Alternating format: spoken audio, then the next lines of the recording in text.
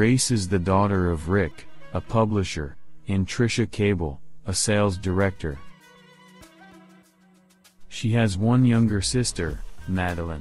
In 2007, Grace watched future Olympians David Boudia and Thomas Finchum compete on 10 meter and knew then that she wanted to take up diving herself.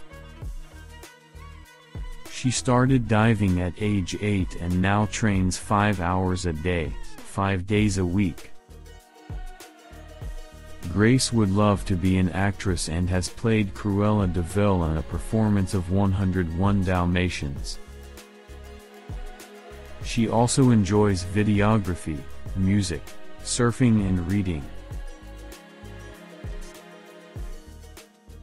An animal lover, Grace has spent time volunteering for Ruff Rescue of Central Florida, an organization that rescues animals from high-kill shelters and finds them the perfect homes.